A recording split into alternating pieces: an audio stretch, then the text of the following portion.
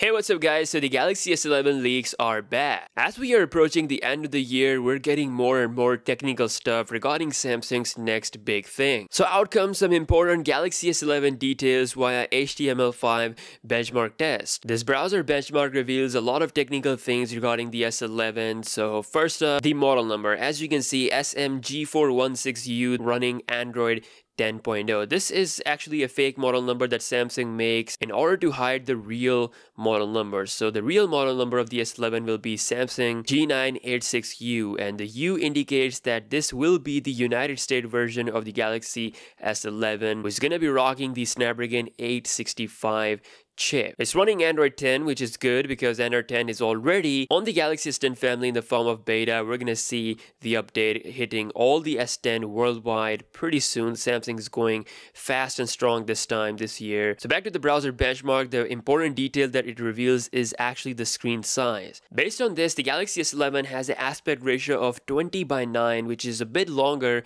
than we have on the Galaxy S10 family and the Note 10 family, which is 19 by 9. So basically what this means is that screen is actually getting bigger on the S11 family while still keeping the overall size of the phone pretty much the same as the S10 family, which means that bezels are going even more slimmer. The S10 family is already pretty bezel-less and anything more than that will be pretty damn awesome. Now as spotted by Tiger Mobile, Samsung recently has granted a patent for its updated punch hole design that can have up to three cameras. As we know with the S10 Plus, we have the dual front camera setup which had the depth sensor. Samsung dropped the depth sensor on the Note 10 Plus family in order to make the design better and honestly speaking, the depth sensor never made any major difference. The selfie result is pretty much the same. So what Samsung can do with this triple hole camera setup is that they can implement something like Face ID or possibly an ultra wide angle selfie camera similar to the Pixel 3 XL or maybe Samsung might implement a motion camera sensor that will have some motion features as we have seen on the Pixel 4. These are some of the functionalities that could be implemented with this triple hole camera system. Again, I definitely think that Samsung Should go with the hole punch design towards the middle, similar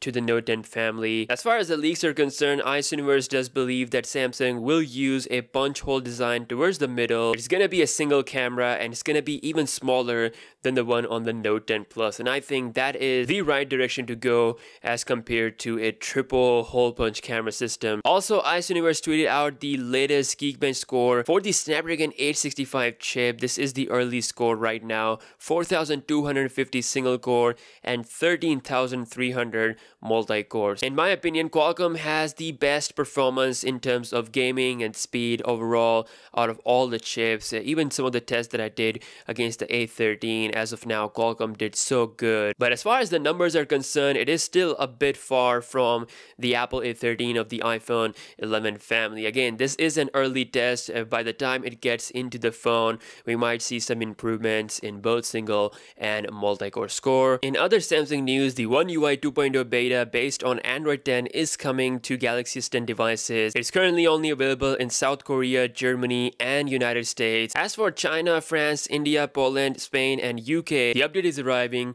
really soon. And soon, there will be an official rollout. This time, Samsung is definitely on time with the update as compared to last year. So, also Samsung has one more flagship Galaxy A lineup device coming up, and that is the A91. Via SamMobile.com, we got the confirmation for its specification that it's going to feature Snapdragon 855 processor with 8 gigs of RAM. It's going to be very similar to A95G as far as the design and overall features are concerned. The only exception is that it's coming with more RAM, a faster 45 watt charging, and the Android 10 version right out of the box. This could actually be the first Samsung phone to come with Android 10.0 right out of the box because it's currently being tested out with the latest version of Android. And if that's the case, then this might not come this year, most likely towards the end of the year. So that's all we have on the Samsung news. The Galaxy S11 could rock a slimmer bezel form factor compared to the S10 family. The early Snapdragon 865 benchmark score, the chip that will power the Galaxy S11 US model, is looking pretty strong. Let me know your thoughts in the comment section below. And as always, if you haven't entered my iPhone 11 Pro giveaway, be sure to do that right now because on October 20th, I will be announcing the winner. So be sure to subscribe and follow the rules for that. Link will be down below in the description. With that being said, I'll see you guys in the next one. Peace out.